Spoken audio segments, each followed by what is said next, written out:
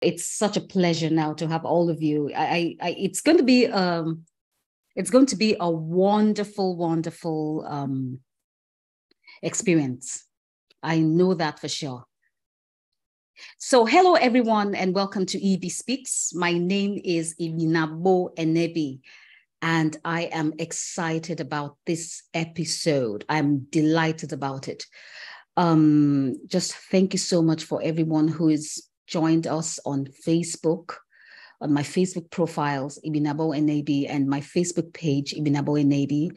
And a big shout out to everyone who's joined us on LinkedIn and, of course, on YouTube. And to those of you who've joined us also from Zoom. And for those of you on Zoom, it's going to be an interactive session. So feel free. Um, you will be given an opportunity to ask questions. And if you're joining the Zoom, sorry, um, YouTube, LinkedIn, and Facebook, write your questions and your comments in the comment box below and uh, my guests will answer your questions. So today on Ibi Speaks, I'm continuing the conversation on immigration, and I have termed it the Japa series. This is the is it the third now or the fourth installment? No, third installment on the conversation. Ibi Speaks episode 73 and 74 are all, you know, are all geared towards the immigration story. I also have um, an episode I did on um, the things you need to know before you migrate to America and what you need to know before you send your child to Canada. So just check uh, in my YouTube channel, Ibinabo Enebi, and also watch those programs. So today I have with me um, experts, the best in the field, and they're here to tell us about what you need to know or how to succeed as a migrant professional. I have Roos Demol. Roos, how are ya? I'm good. Welcome Thank you, Ibi. yeah. Roos resides in Ireland and is the CEO of International Community Dynamics. She moved to Ireland in, in um, 1980, 1998, and yeah. she's passionate about refugees and immigrants. I have Rose Simwanza. Rose is originally from Zimbabwe. She resides in Ireland. She's a clinical systems analyst, and she's going to share her migrant stories and the things you need to know to succeed as an immigrant. And I also have Dr. Ayoade Adeyemi joining us all the way from Canada. He is a business strategist and management management consultant and he's going to tell us again how to succeed as a migrant in Canada. And, and listen, you can subscribe to my YouTube channel, Ibinabo Enebi. You can follow me on my social media handles, Ibinabo Enebi, Instagram, Ibn Aboy Nebi, uh, TikTok, uh, Facebook, and LinkedIn. And, you know, so welcome. So good to see you. Hi, everyone. Um, just a little bit of a correction there. My name is Ruth Simwanza, and I'm from Zambia. Did I say Zimbabwe? okay, my mind was in Zimbabwe. I wrote Zambia, you see. Okay, so Ruth Zam from Zambia. Thank you. So let's talk about what it is to migrate from your country to another country. And the reason why I love this conversation is because all of us here have, in one way or the other, left our home countries to reside in, in Ireland. So, uh, Roos, I want to hear about your migrant story. Okay, my own, my own yeah, story. Yeah, yeah. Yeah. So I, uh, I'm from Belgium, from Brussels, and I married uh, a Brit who was half Irish, half Welsh. We lived in, a, in Belgium for many years, but then uh, he found a job in Cork, Ireland. So he had to convince me to move because I didn't really want to. I thought Ireland was a country with hills, and white farms, and and then dancing little girls, but I didn't know much about it. I thought there was nothing here, to be honest. So we did come here once to have a look around, and because they had good coffee in Kinsale, I thought, okay, I'll give it a try. But um, so we moved in 1998. I had two children. I was seven months pregnant with my third child when we got here it wasn't easy. Um, and especially I'm European, so that side of things is very easy. Of course, we don't need to ask for visas or anything. We can just come. But um, it's the the shock, the culture shock, I guess, and also you take things for granted.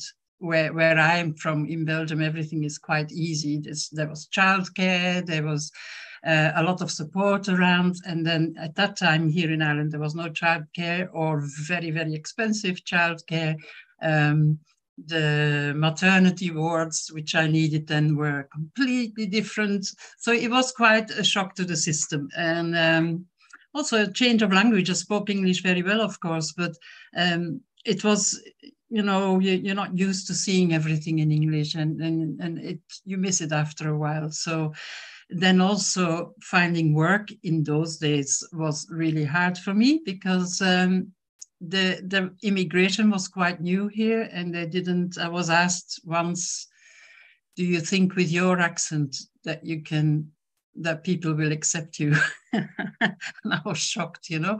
But yeah that's so it it hasn't been easy for me um, but very, very easy compared to other people. So um, I've been here now 25 years. I must say, the only way I feel like I can work is doing it myself, um, setting up my own organization. That's why I set up International Community Dynamics together with other uh, migrants and mostly refugees. It's refugee led. And um, so, yeah, we, we help people to adjust, we help people to with whatever problems they have. Uh, we also make music. And then when I noticed when people had uh, the right to work in 2018, we decided to help them and we set up Recruit Refugees Ireland. So um, I can tell you so many things. I could go on forever about migrating, but uh, yeah, these are the things. Also, what I want to say, and I will repeat it after, uh, is I hadn't really researched what it would be like to live in Ireland. I thought it was all going to be the same as uh, all over Europe, but it wasn't. And so that's one of the things I want to tell people do your research before you come so you know what you're going into. Okay. Thank you very much. And that is so profound. Mm-hmm. And Ruth, tell us about your migrant story. Um, Ibi, actually, my my migrant story started at the age of 13. Um, I was born in Zambia. My parents are were both Zambian, and uh, my father emigrated from Zambia to South Africa, to Johannesburg. And as a 13 year old with um, my sisters, my older sister and my younger sister, we moved to South Africa with, with our father. Um, it was an interesting time in the history of South Africa because it was right at the brink of independence.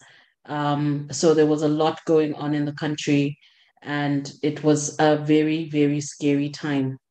Um, already by then, South Africa was a hostile environment to foreigners. Um, as a 14 year old, I had been harassed at a bus stop and refused to actually access the public transport system because I couldn't speak the language. Um, and that that actually stayed with me. And on that day, I vowed never to learn to speak a South African language because I decided that if that's how you are, I don't want to communicate with you at your level. Um, so that was the sad part of it. Um, I lived in South Africa for 27 years, and the story for me as a foreigner living in South Africa didn't change. Um, it got increasingly worse. By then, obviously, I was an adult. I had been in the corporate world. I had been working in South Africa for like 20 years um, and I had reached the end of the line. Um, affirmative action had become really rife in the country. And the last job I had in the country, I was told I was not South African enough, even though I was a citizen, to work in their business. So uh, I couldn't work in the country. Um, it was difficult to access funding for any business as a foreigner because my place of um, native was not South Africa. So it had become a really hostile environment for me, and I was forced to run. So I ran to Ireland. So Ireland is actually my second home um, away from home, South Africa being one, and Ireland being the second. And I came to Ireland as an asylum seeker, um, literally on the run for my life um, because South Africa was no longer safe. And my experience in Ireland has been a little bit different. Um, I'll be honest with you, the asylum seeking process in itself, the way it is designed, is not easy for anybody. I, like Roos, also didn't do any research. I didn't have time to research. I needed to get out because my life was at risk. So um, I came to Ireland and I remember seeing Dublin from the airplane, and my heart was filled with so much joy because I had come home. It felt like I was coming home. And I took to Dublin like a fish to water. I loved it. And when I moved to Cork, I hated it. I cried for two weeks. Um, and I found that navigating how things work in the country whilst you're in the country is extremely difficult. Uh, the Irish, bless their hearts, they're good people, but they don't explain things on their websites really well. And it can get really confusing. Um, and but when you do actually go and ask for help, there, there are some really helpful people out there that really help you navigate it. Um, so on the whole, I have lived the majority of my life as a foreigner somewhere on the earth. And once, you know, in Africa, once in Europe, and I am having a better experience of being a foreigner in Europe than I did in my own continent. That is deep. Thank you. And Dr. Ayoade, what is your migrant story? Uh, you're muted. You're muted, yeah. All right. Okay. Uh, good day, everyone, and good to be here.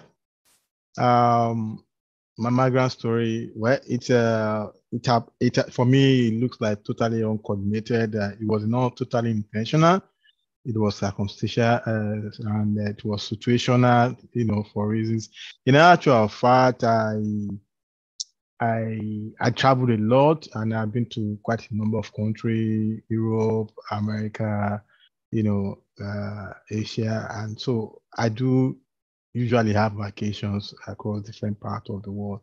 Uh, that's one of the things I promised my family that we would do.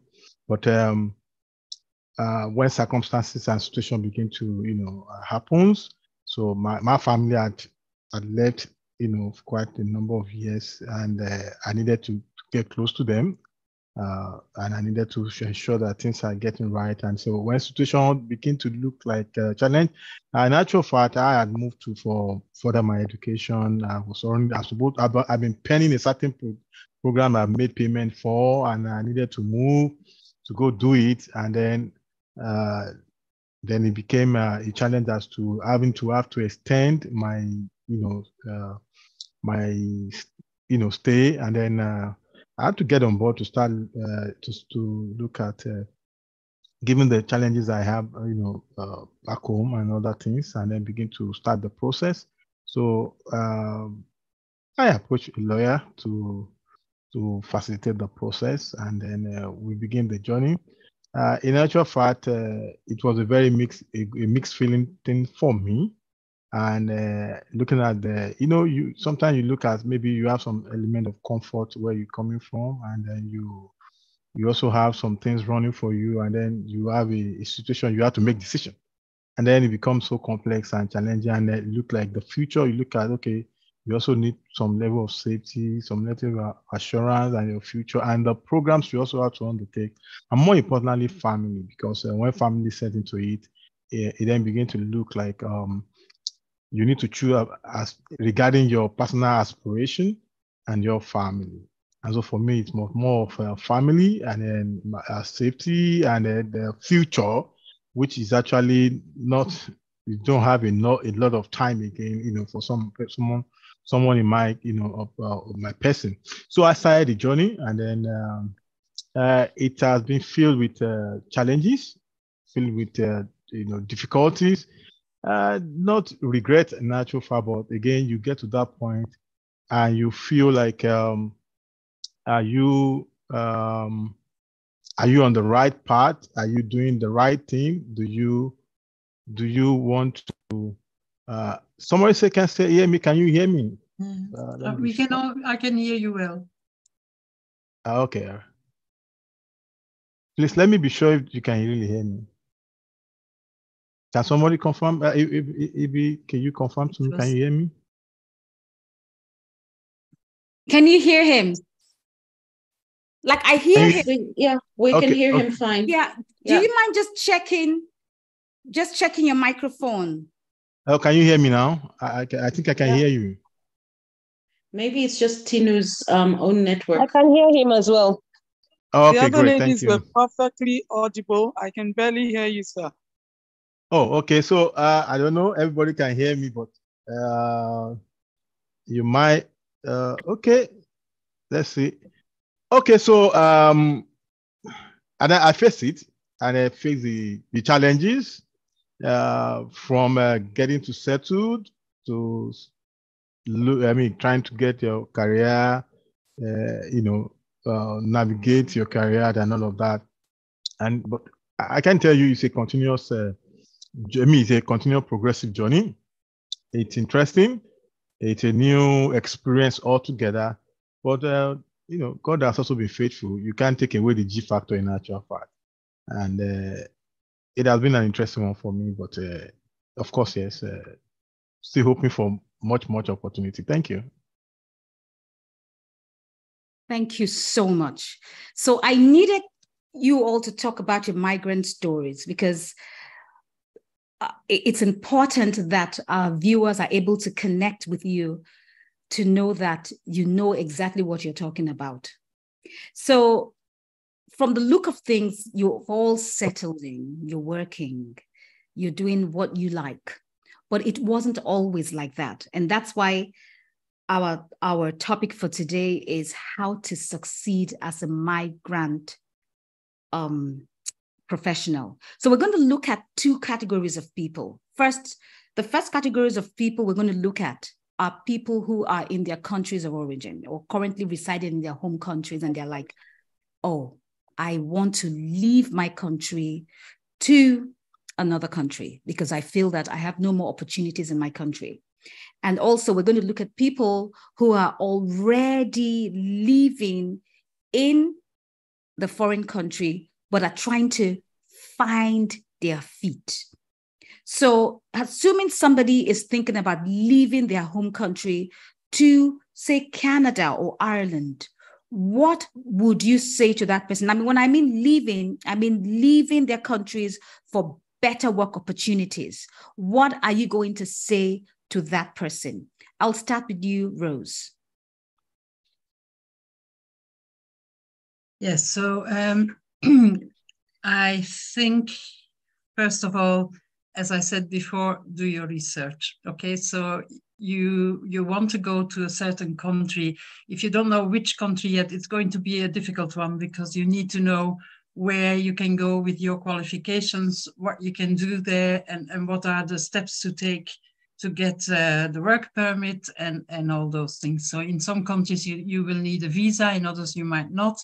In some countries, some qualifications are accepted and others are not. So these are really very, very important things that you have to check. Um, for Ireland, there is a, a website the, of the Immigration Service for example, where if you want to have the highest chances of getting a, a visa, um, they have a list of all the critical skills that are needed in Ireland. So if you have one of those critical skills, you will get a visa quite quickly, but you first have to find work. Okay, you find work, you get a visa, you come and work here. Then there are some other special rules attached to it. And I, I could go on about this for a long time, but it's quite complicated. So you, you need to research that really, really well. Know what you are what you can do and how you should be going about it. So there are various uh, websites where you can look for work. Um, can you give us examples? I'm sorry to cut you short. Yeah. Can you give us examples as um, examples of the various websites where you can look for work because people want to know that. Yeah, I was going to, uh, yeah, so there's one that's called Mon- uh, Monster, monster.ie, and uh, they like working with people from abroad as well. So monster.ie. Then there is jobs.ie is another good one. Uh, what is it? IrishJobs.ie is another one. Um, and then there are all the uh, recruitment agencies. But if those three are already a good way to start, so I would say Monster.ie, Jobs.ie, and uh, job IrishJobs.ie. They are very very good. And there you can type in what your qualifications are, and the jobs will come up. Okay, and then uh, you take it from there. So um, critical skills they change very often, but one of the jobs that are always in the critical skills list will be nurses, caretakers, and anyone in the medical field. So radiographers as well, doctors, of course. Um, there's a big, big um, need for doctors and nurses here and for caretakers. So that's one. Then uh, a lot in the IT industry. There are a lot of jobs there on the critical skills as well. Construction is another one. Um, engineering, they need engineers of all kinds uh, in Ireland as well. So construction engineers as well as IT engineers, uh, software developers, all those things. So, but it's a long list and, and it changes. So have a look at it and and and that is where you can start you know if you see i have one of these qualifications or you can upskill and and get one of the qualifications and then uh, go for it. I think it's much better to do that. So um, and then of course research what your obligations are what your how the country works and all that but that's after you found a job and you know that you can leave. Be before to get the visa make sure you're well informed on what you can do and uh, so you don't you're not sent back on the same plane that you came from. Okay? Okay. So someone says please can the names of the websites be dropped? Okay i'll drop them. Now yeah. uh ruth? Um i would actually encourage people if if you're coming on a work visa and you've identified a country that you want to go to i suggest that you go visit the country. Mm go and have a look, go and see, because um, culture shock is really real. And um, for some people, it can actually even register as a trauma. Um, mm So you need to you need to be careful. And if you're in the southern hemisphere and you're coming to the northern hemisphere, my advice is come in winter. Come in winter. Come and experience the cold. Um, especially for us Africans, we don't have winters like we have winters here in the north. Um, for example, in Canada, it snows really heavily in the winter. Dr. Ayo will tell you that. Um, and I, I remember the first time I experienced minus 34 degrees. I, I was ready to see my savior. I was like, yeah, Lord, I can come home today. It's okay. Um, and then you come to Ireland where it rains the entire winter and it's extremely windy. And I come from a place where our winters are dry. So um, by January, I start to take the weather personally and I get really upset and really weepy. And I don't want the rain anymore. And I don't want the wind in my face anymore. Um, I, I like joking, saying that if I had known that Ireland was an island, I wouldn't have come because the wind is be constantly beating at us, you know. So I encourage you because your environment matters. Your environment matters. Um, I now live in a country where 90% of the time I don't want to go outside because it's wet, you know, but it's raining all the time in Ireland. So I've had to come to terms with that. Um, where socially I have to be social. I can't just stay at home the whole time. I have to go out and see people. It's good for my mental health. I have to, you know, this is what I have to do as a human being. So I force myself, even when it's going out, I comfort, it's raining. I say, you know, it's it's just a little rain. I won't die. It's just a little rain. I would so melt. I encourage you to actually go visit the country, go in the winter, and don't go over Christmas because Christmas is deceptive. Mm. It's happy over Christmas. There's lights everywhere and everyone is nice. No, go just before Christmas or go after Christmas, but go and experience the winter because that will determine whether you will actually want to live there or not. Fantastic. And um, Dr. Ayo? You're on mute. Sorry. Uh, all right. So uh, if I get the question again, uh, how do you migrate? Am I right? Yes. Yeah. So what? Yeah. what's your advice? If you're going to Canada, what's the first things first? If you're going to Canada for work, what's the first things first? Roos says do your re- research to, to make sure that your qualifications yeah. are accepted. Yeah, I, I, I had them very well. I had them. I just want to be sure that uh, that is the line of talk. Okay, so my first, uh, you know, uh, approach or reaction to that would be, uh, you know, in Nigeria we say Japa, you know. All right. So of course, yes, uh, you, that's the narrative, but uh, I think you need to be very intentional about your Japaism. You need to be hmm. very, very intentional about it uh, yes, there are a lot of challenges in the country. There's a lot of issues. There's a lot of reason why people want to escape, all right, or try to find reimparture. So, but you must be very intentional to know what is that you are doing. And of course, you know there are different routes to it, but especially that of the, you know, schooling, you know, which is, seems to be the uh, getting the higher attractions, and then the next one that we your PR. Okay, so because that's also we form on i mean we, we define the basis of how you when you land and how you approach things right? So the first thing is how do you arrive? Okay so your arrival or your, your route of arrival determine a whole lot of things. So if you come in with your pr that are i mean your landing that's the way it works. If you come in as a student your landing that way it works. And if you are coming as a refugee your landing that's its way it works so all of that you need to do a thorough research to have, I can't speak about all of that right now, even though I have information around that. But essentially, essentially, and I like one of, one of my friends was going to come around. He asked me some few questions. And I said, okay, right from why you are in Nigeria, let me link you to some platforms. Okay, start making friends. Start hearing things yourself. And especially when the province you are going, you know, like Ruth said, it can be cold. Yeah, I, I came in the winter. I, have been traveling to Canada I mean, I've tried Canada about three times. I've experienced the winter, but maybe not the thick because before you get thick, I ran away usually. So, but this time around, I came, you know, uh, I think in the winter, yeah, that should be around uh, November.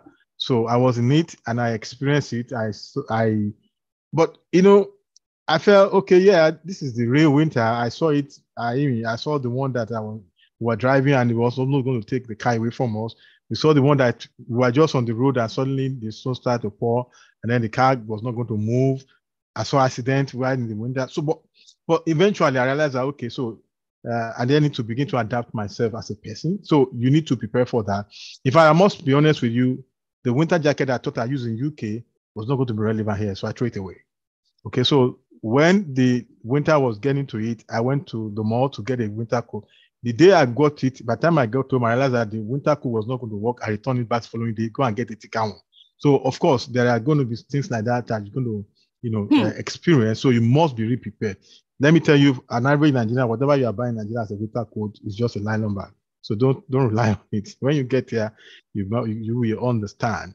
You know. So that again, you should experience. And so, but one thing that is important is that you should understand your your person, your your your in terms of your health wise, and then be able to don't don't flaunt and feel like look, I'm in the foreign country, I'm in abroad, and you want to feel like more. You want no, please because it's very important. Like I tell people, when you break down, when your when, your body metabolism break down, all your goals will be go, will go down the drain.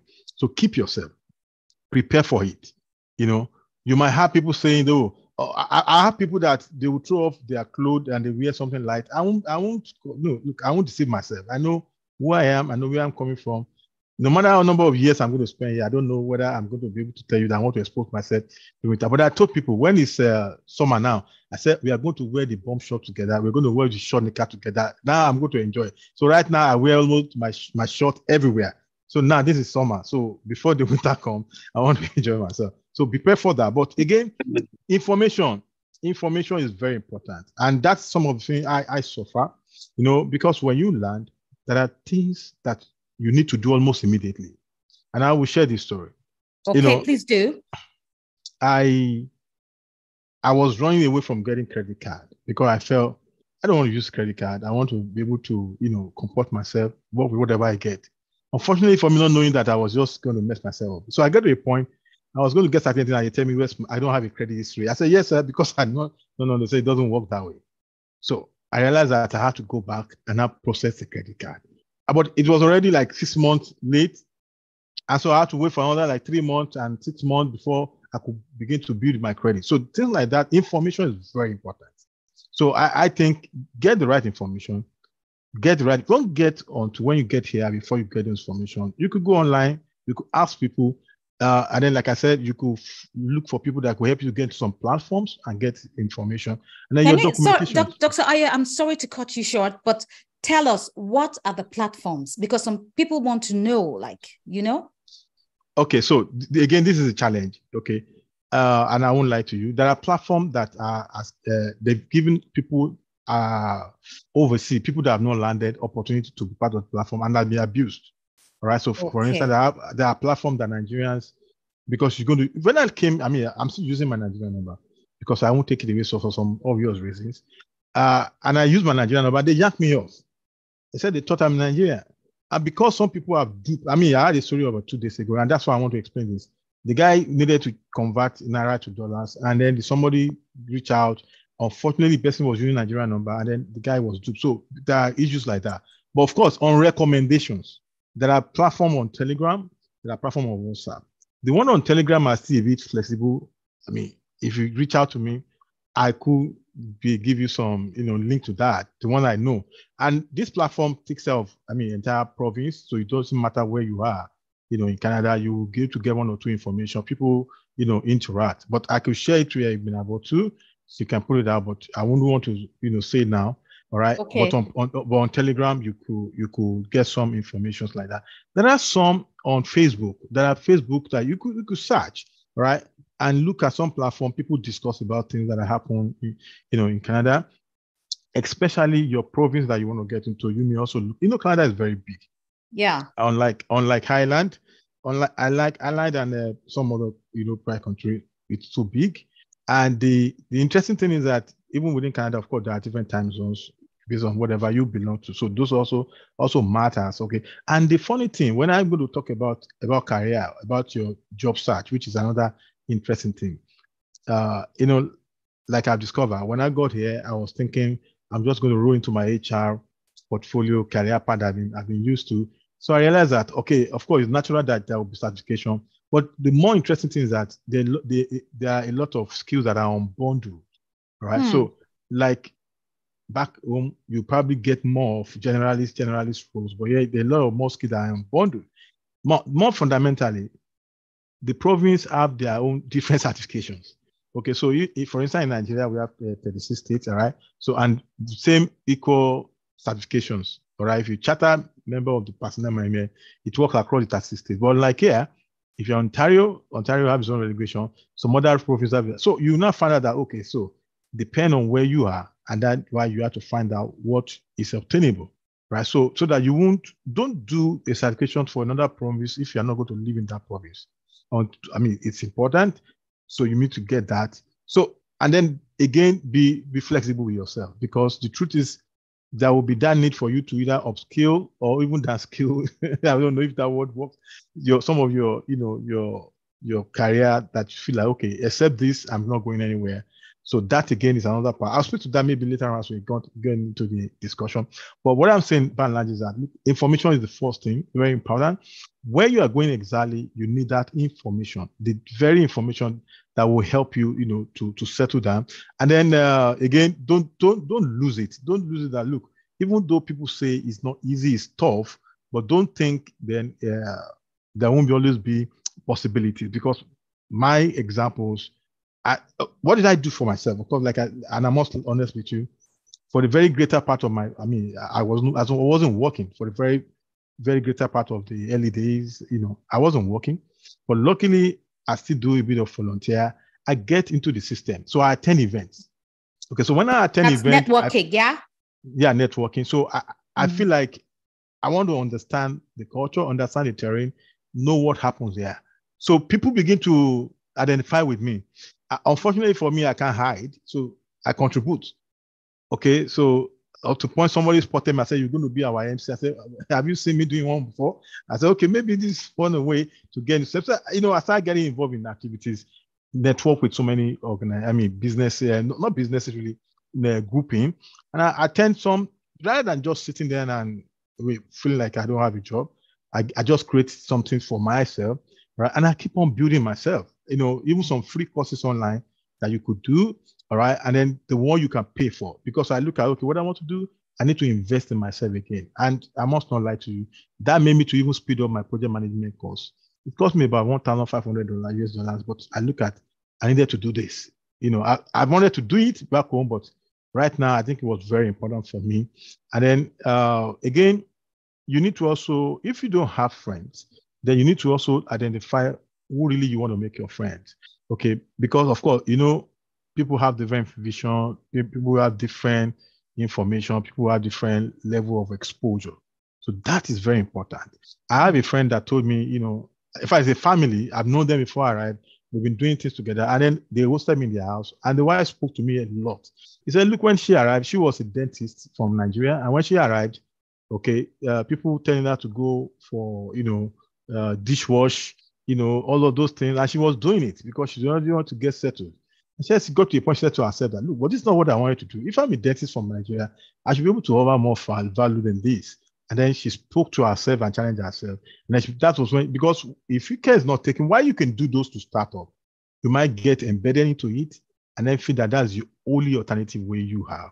So I just want to say to you that, look, you can't do those things. It's not bad, but don't limit yourself, reduce yourself, and feel like, okay, accept this, then you can't do any other thing. All right. Fantastic. It can be tough. It can yeah. be tough, but of course, there's possibility. Thank, Thank you. you. Thank you very much. Thank you very much for that.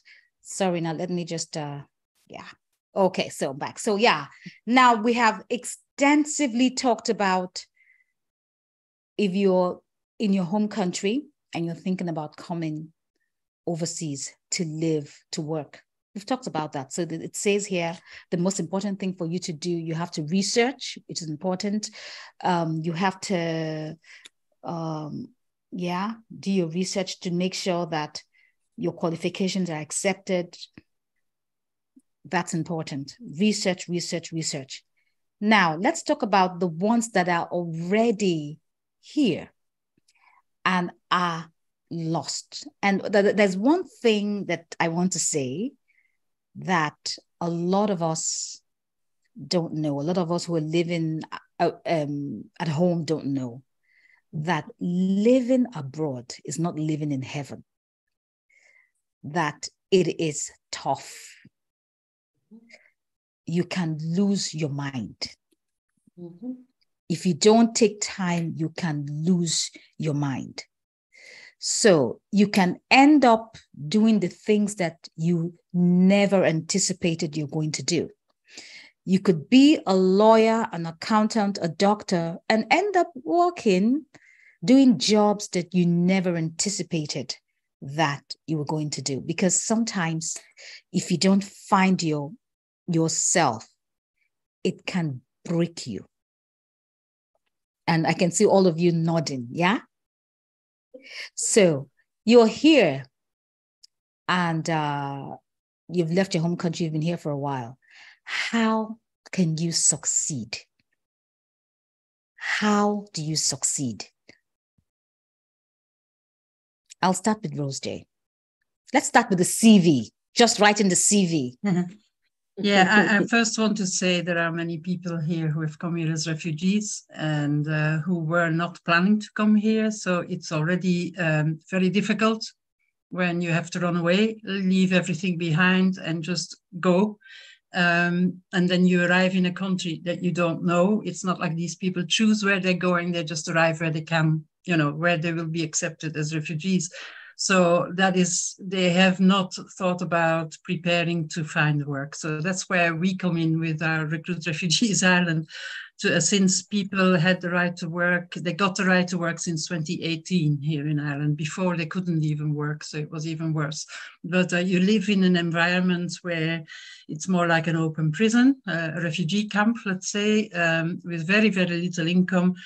Uh, a lot of the men want to send and, and women as well send money home. And so they need work and they will take anything okay?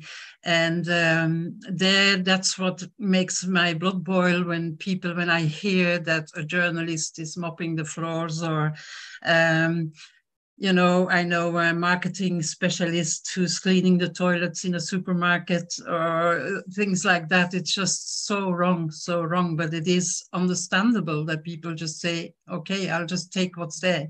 Okay. So um, first of all, yeah, we were talking about CVs, and that is one thing that I've noticed. So we set up a website for refugees really to find work, and uh, we asked them to send us their CVs. And as professional as they may be, the CVs are always wrong. Always, we always have to reshape them, okay? Because CVs are different in any country. So, and that is also important if you if you're looking for work from from African countries as well as here.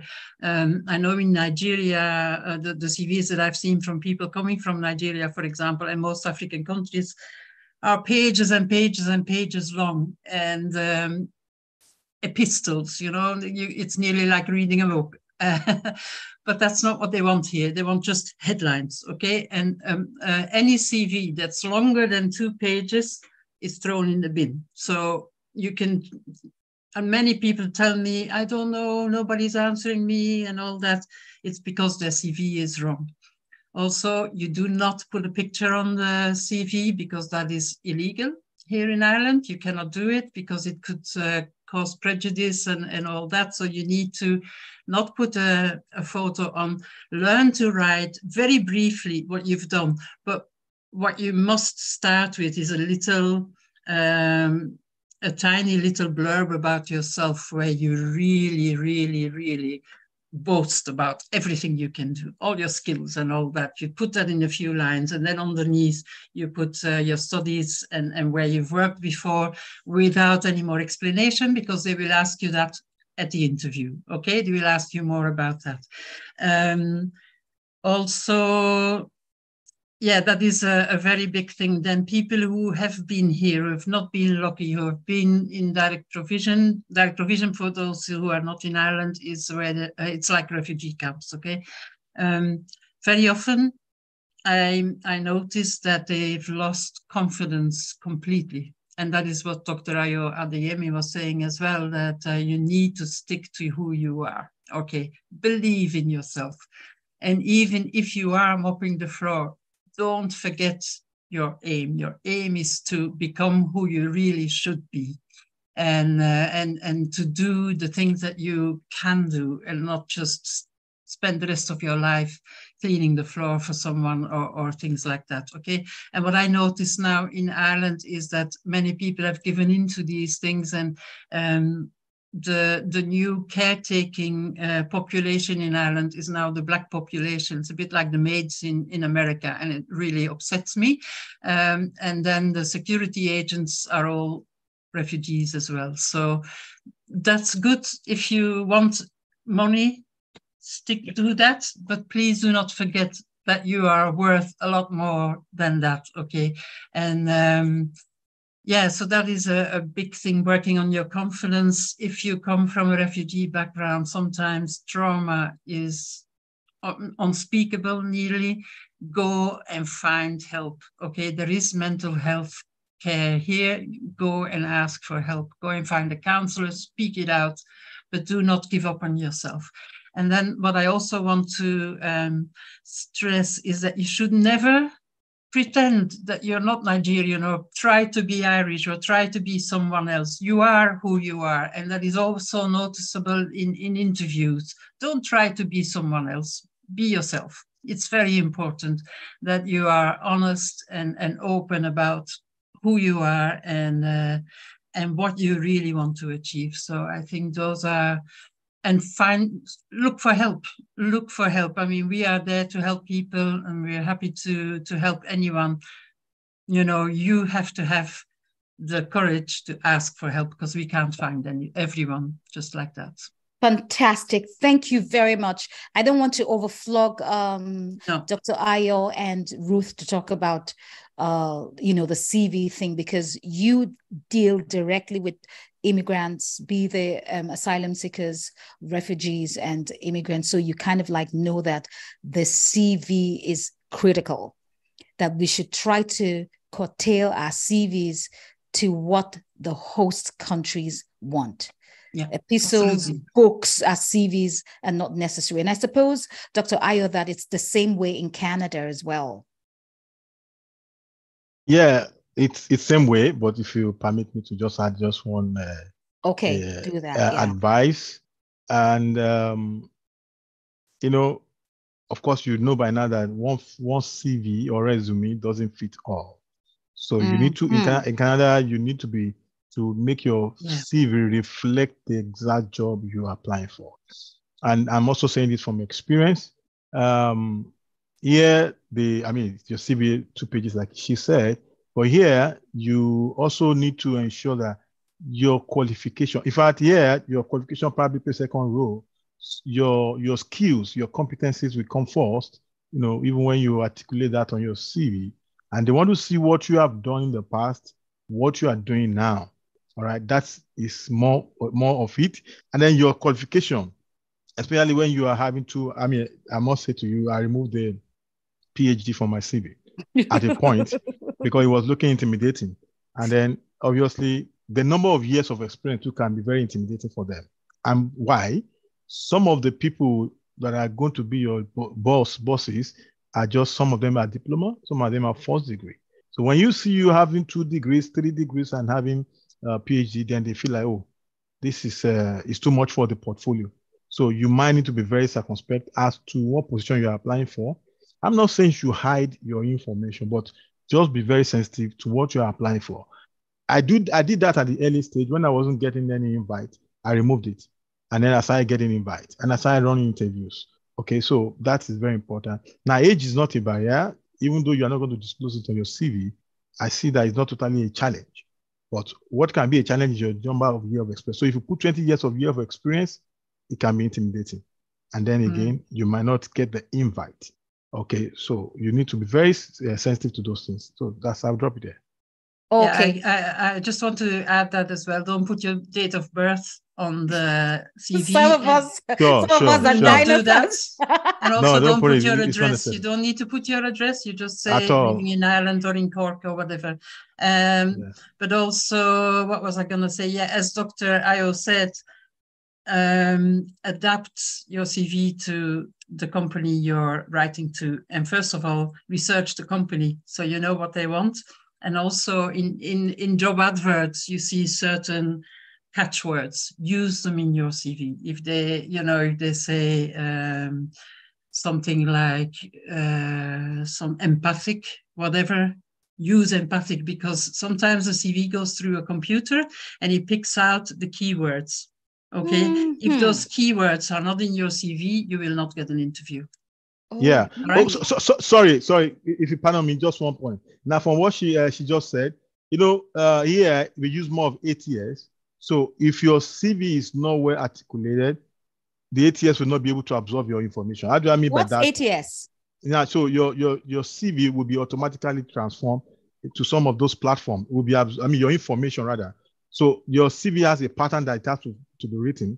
So it will be automatically, you know, uh, transmitted to the you know the job site, right? For instance, if you go to Indeed.ca and you apply for any position, it will ask you to upload your CV. Once you upload your CVs, it will automatically fill some of the the data entry uh, you know, uh, uh, for you. So Mhm. that's what I mean by the ATS. So automate, automation, the TV Yeah, are yeah. automation, automation, automated. So if it does not align with those, uh, you know, um, flow or pattern, it will be difficult to automate your CV, and then that again will be another challenge for you. So that's you, that's also you need to be very careful.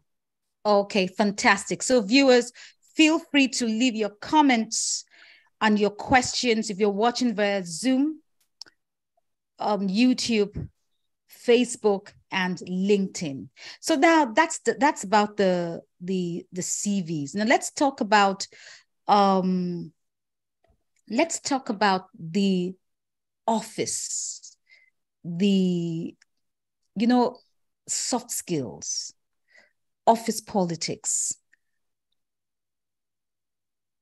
Let's talk about that because um, you know, like I would just say this, like in in Nigeria, you know, sometimes and this happens, like you're working and your friend can just come and visit you, and you'll be on the phone. You can just say, okay, I'm going for lunch with my friend, and it can take like one hour. and you know, but it's not like that here. And it's also important that you respond to your emails as soon as possible, you know. So let's talk about those kinds of things. So I'll start with um, uh, Ruth. Uh, Ibi, uh, so I had the, the the the the opportunity and the privilege to work um, in a nursing home, and um, that was quite an experience. It wasn't um, like any place I've ever worked before. I worked there as a cleaner, and then after a while, I was um, I got the job at reception, and that was shortly before I left. Um, so each industry we have to be aware of, and I'm sure it's the same everywhere in the world. Each industry has got its own type of politics. Okay. So when I was working as a cleaner, I was working with people who are professional cleaners. All right. So this is something that they have been doing for the last 10 years. They've been doing it for the last 15, 20 years. They've been in this job, in this house for the last seven years. They know the job well. They know the they they know the ins and the outs. There's nothing you can tell them. Um, but then they have a certain mentality. And in a work environment, the mentality of the people is actually what drives the politics. So now hmm. I come in with my with my background and my work history. I've never cleaned anything except my own kitchen and my house. And I'm not given to the kind of politics that they are purporting, that they are pushing. Okay. So I'm not participating in that. So now leave that. I leave the nursing home. Um, and now I, I'm working in a hospital. And even though I'm in IT, I'm sitting in an admin department and it's a completely different environment. The politics are there, but I don't lend myself to the politics. Mm-hmm. I don't have time for politics. Mm-hmm. So I go to work to work. I don't go to work to gossip. I don't go to work to know who's doing what. I'm not interested in any of that. That is actually just my personality type because even in Johannesburg, I was the same. I don't do politics. If there's work to be done, let's do the work and get it done. So I would encourage anybody who's going into any work environment be who you are be who you are. If you are a gossiper go ahead and you know you'll deal with it with your god later. If if just be who you are. Don't go into an environment like Roos was saying earlier and try to conform and change and try to fit in. Be who you are because when you are who you are it's easy for you to stick out. It's easy for you to be called out to actually better things. How does a cleaner go from being a cleaner to being a receptionist how did that yourself. happen? Yeah. How did how did it happen? It happened because when I'm when I'm spoken to, I'm not speaking at the level of, oh, I can't believe that somebody stole my mop. Oh No, I'm talking about okay, if people are stealing mops, then it means there's a problem. There's a shortage of mops. Can we get more mops? All of a sudden, my boss is looking at me different and wondering, okay, why does she think like that? Why isn't she sitting at this person stole my mop? I'm going to get them back for what they did. Because those are the politics in the cleaning department, believe it or not. And these are adult women, adult men that talk like this. So when it comes to politics, go into the environment, observe the environment. What is the culture of the people, the culture of the working environment? If it doesn't suit who you are as a person, who you are as a profession, who you are as at your core, do not participate. Just be who you are. Because if, say, for instance, you're a lawyer and you're working as a cleaner, what good does it do you to start engaging in politics at a cleaner level? And I don't mean to degrade anybody, it's just a reality. So stand your ground and just continue being who you are. Your good nature will speak for you, and then you will be called out. And that's how a cleaner becomes a receptionist. Fantastic. Now, I, now hold on there. Now, I want to ask you another question. And I had to quote that um, on my social media handles. You talked about the spiritual nature of immigration. And um, guys, I'm going to come back to you, but I want to quickly ask this question before I forget. You talked about the spiritual nature of, of immigration. You said that if you are an immigrant, that you have to honor the people and honor the land. I want us to talk about it before we um, we lose track of that. Yeah. How so, and what are the benefits of it? Okay, so um, I'm going to speak to it from a Christian's point of view because I'm a Christian. Immigration is spiritual. Okay, why do I say that? The first immigrant in the Bible that we see is Abraham. Abraham was called by God to leave the land of his people to go to a different land. He was going to go live among foreigners. So, immigration, whether we like it or not, is spiritual. If you're sitting in your home country right now and you have this incredible sense that you have to get out of your country, it's probably a call from the spiritual realm that you have to leave. And it's all about destiny.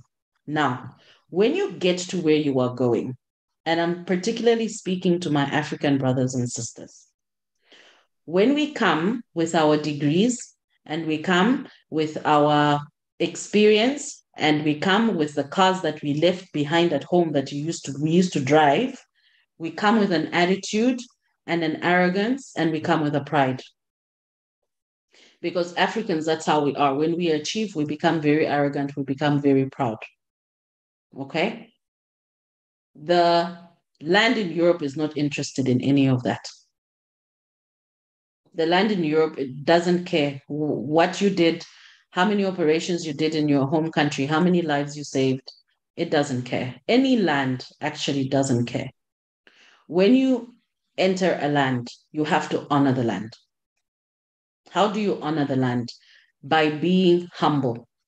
Humble yourself and conform to the laws of the land. If, say, for instance, I come from a country where stealing is legal, and I come into Ireland where stealing is illegal, just because I was the best thief in, in Zambia doesn't mean I can come and continue that. And then they won't stop me because, hey, me, where I come from, I was the best at what I was doing. No. I have to come here and I have to observe, okay, what is the nature of these people? And I have to conform my first volunteer job in this country, I, I, I worked for um, Tidy Towns. Being a street picker, we used to pick litter up off the street, and I did it purely for volunteer sake. And a friend of mine asked me, says, Ruth, why, why are you doing that? I said, because I want to know, I want Ireland to know that I care that she's clean. Hmm, hmm, hmm. this is deep. Yes. I said, because I want Ireland to know that I care that she is clean, that people mustn't litter, they mustn't leave plastic and cans and all sorts of things on the street because Mother Nature doesn't like it. And I said, if I bless the land, the land will bless me. Because that's how it works. So if I come here with an attitude of I know better than the government, the government is stupid, because where we come from, that's how we talk about our own governments. We wonder why Africa is in shambles. This and that is not working. And they did this because they're unfair. And you accuse them of racism. I always laugh when other Africans talk about racism, live in South Africa, and then tell me about racism. And all sorts of things. None of it. I came into Ireland in 2019. I found people in the direct provision centers when I got there, they were telling me they'd been there six years. I was in the system two years and eight months. And I left, and they are still there. Till now. Yes. But watch the language of these people. You know that woman there at the center, she's very horrible. Or oh, she's a very stupid woman. How can she talk to me like that? That's how they talk about those people that look after them that make sure that they are fed and that their rooms have got heating. You're not going to get anywhere with that kind of attitude. You're not going to get far. And when you actually do get into a job, you get there, your attitude is the same. Your boss is stupid. Your boss, you know better because you've got a degree and you did this. No one cares. The land does not care.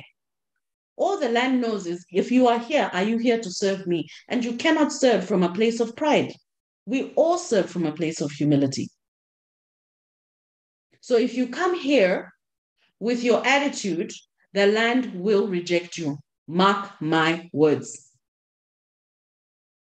I have seen it countless of times. The land will reject you.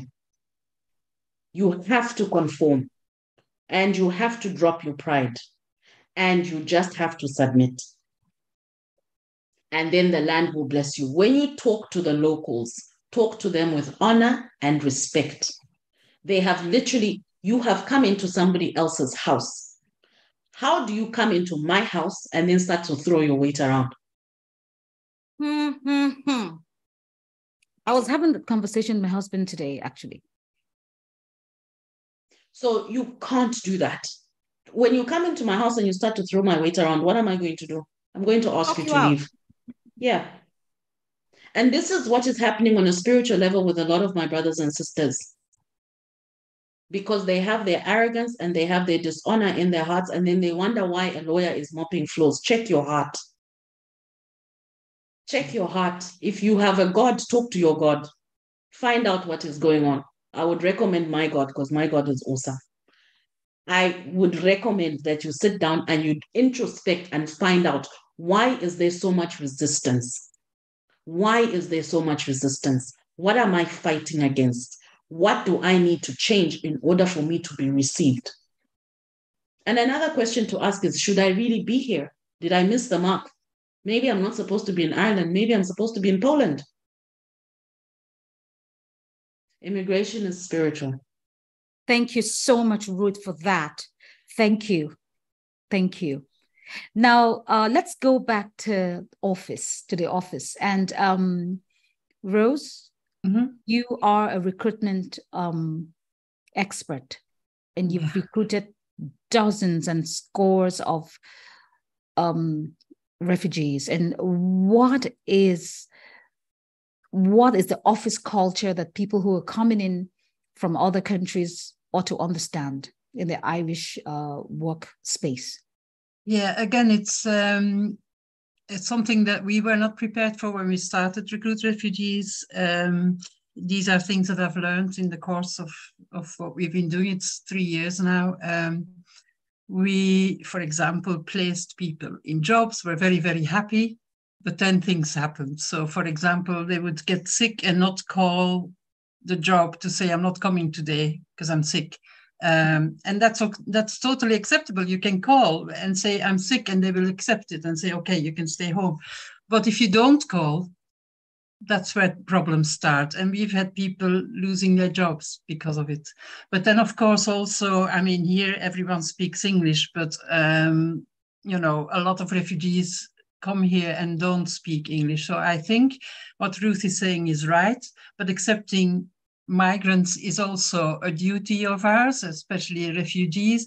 And I think as a country who's receiving them, we also need to do better. Okay, so there are uh, there are arguments on both sides, um, but first of all, in the office, learn the rules, and as Ruth says, get a bit used to what it's like to work here. Um, I myself as a, as a worker before, as an employee. Um, I've, I've done loads of things. I could write about a, a big telephone directory about it, but um, um, I'm a bit of a rebel. So if you work in an American company, please keep your mouth shut when you don't agree. and they watch you, okay? So I was, for example, working in a call center and I was talking on a chat with my co-workers just thinking it was between us. And I was saying it's about time we get a union here because things were really going pear shaped. And two seconds later, there was a manager standing next to me asking me to go for a coffee and talk this through. You know, so um, you need to know that you're being watched in these big companies. They're watching you. It's micromanagement, they call it. You know, you get two minutes to go to the bathroom, don't take three minutes and stuff like that. So make sure you know exactly what you can and can't do if you want to keep your job. And then just be yourself. I always agree with that. Be yourself, show them what you can do. Um, and uh, and and you will move on. But and here is the but that Ruth didn't talk about. We are in a white country, and being black always means you have to make an extra effort. So if the white person works an hour more, you as a black person probably have to work three hours more to be noticed and accepted that you might be better than the other. You know, you always have to do that little bit more. And I will never forget uh, reading Chimamanda Ngozi uh, Achike or whatever Adichie uh, saying when she arrived in America was the first time she realized she was black. It's the same here. Okay. And um, racism does exist. Um, you have to not go screaming and shouting, but you have to know it. And, and, you know, and it is a fact that as a black person, you need to do that little bit more. I've known uh, an engineer who was hired in a company. They sacked him, which according to me was illegal, saying he doesn't fit in. Now, what did that mean? His color didn't suit the other color that's all it was. So you do have to know that you know and you have to be uh, a diplomat i guess to be able to deal with these things. Don't get furious don't get angry but if it's really wrong you do have to go and say it okay? There's always someone in an hr company that if you have a complaint you can go to them and make the complaint and be very serious about it because those things like saying he didn't fit in, actually you can take it to the Work Relations uh, Commission and uh, you would get compensated for that. Okay. But um, to, yeah, that's what I'm saying, to keep on going, just be yourself, work hard, don't get your friends in for coffee. if your lunch is half an hour, take half an hour and not an hour and a half. Um, all those things. In some jobs, I've noticed in hospitals sometimes when, when it's not very busy, they don't mind if you stay a bit longer. But if it's an office environment, um, do you know call center a call center environment as well. And oh, you oh you can't you, you can't. No, no yeah. But uh, all uh, there are other offices. I know my sister for example worked for ibm in brussels. It would be the same you know if it's an american company you are micromanaged. So be fantastic. be aware of that. Yeah. Fantastic. So um dr ayo? Yeah um again uh you know i, I won't say that uh, the obvious uh, environment or culture should be too strange to any professionals there are basic things that are expected of you. Understand your job, do your job, and then uh, relate professionally. But of course, the aspect of culture shock might be then where you need to learn and learn fast, uh, because you don't want to present yourself as uh, if you are a professional. You know, one of the things I realized, really, even for me too, was that at a point I was trying to to see how I could fit in and play, uh, you know, the way things should be done. But I realized I'm going to lose myself and I'm going to be more confused. So I told myself, you're a professional. So what are the basic uh, office ethics? Whatever, wherever you are coming from, first of all, remember that you're a professional and then oblige or, or work with the basic office ethics. Then what are the culture that you need to align with? You know, then the basic things. So yeah, of course, yeah, like she has said, uh, you one you can't even intrude to anybody's space anyhow. Mm-hmm. You are expected you are expected to to be at your job post, do what is expected of you. Uh, this is not where you want to go around and start gisting, you know, or gossiping. This is where everybody is busy. That I, I remember one of the, you know, my, my my work experience. I I was going to just continue working, even though I've been told my 30 minutes break is not paid for. So and not that I have things to do, but I was just like, okay, I don't even know when the 30 minutes should be. So I will just keep on working. And my colleagues told me, go for your break. Again, you know, back home you feel like the more you don't even go, maybe you'll be appreciated as being a good staff. Yeah, nobody's nobody bother about that. It's your break time, go for your break. And I feel even when you're break, and then somebody call your attention for a certain job, you need to do it. You know, say, tell the person I'm on break. So those hmm. are the, so if you're on break, you're on break. Nothing, nobody can discipline you for that. But you see, the apprehension that ah, I don't want anybody to say I have things to do. No, no, no, you're on break, and the person will also respect that for you. Okay, so uh, your your punctuality is important, and then follow the necessary process of your signing in, whatever you have to do. If you have to take excuse from work, do what is I mean what is expected of you, and do it. Ensure that you get appropriate uh, permission and documentation uh, signed. You know, so just to be professional. All right. The the aspect of cultural shock may be uh, how you you know back home maybe you could get a bit friendly with your your colleague, but some of those things are not here. So you need to be able to define the boundaries. You know, mm-hmm. you, need to, you, need, you, need, to know what are the things that are obtainable and not obtainable. And I won't lie to you. Of course, this is wasn't my work uh, environment, but it was one of the experience I had. You know, in Netherlands, I, I, I got a friend, and then we were we just got cordial, and then uh, we were going to part it with everybody going to travel, and that was also, I mean, okay, so bye bye. We're going to catch up. Oh, I'm going to be visiting London one of these days. Drop your address, and then and then the and the person said I'm making her feel uncomfortable just because I feel we're friends. And I said if I come around, I could pay a visit. And then it make so I felt okay, that's a culture. So I don't have to struggle with that. I just have to understand that look, even though you're a friend, it doesn't still give you liberty to say that look, I'm going to visit you. It has to be seek, it has to be requested officially, even though you have been friends. You know, so those are the things that I can be like culture shock. And then daily you will experience culture shock. And then I think what is important for you is to understand uh, how you adjust. I think your flexibility and willingness to adjust and uh, you know uh, we, we, we help you a, a, great deal when it comes to the work environment. But the modern thing that I also think is important is that when you need help, seek for help. Now, don't keep it to yourself. Don't feel don't don't struggle in silence because at the end of the day it will backfire. But if you really need help, seek for help. Ask for it. Ask for it, and then you will get it. Thank you. Fantastic. I just wanted to add a few things. Some time ago, I read something on Facebook, and it was a Nigerian who came to the UK to she relocated to work, and she wasn't feeling well, and she sent an email to I think she didn't she didn't inform her HR or her boss that she wasn't feeling well. And then they sent her an email to ask her why she's not here. And she said, I'm strong. Usually in our culture, when you're unwell, you don't say, I'm not well, you say, I'm strong. And they called her again and said, You're not here. What's happening? And she said, I'm strong. And then they called her a third time and she said, I'm strong. And she was sacked. Yeah. because really, what you're supposed to say is, I'm not feeling well and I'm I can come. But then, you know, we say I'm strong. It didn't make sense.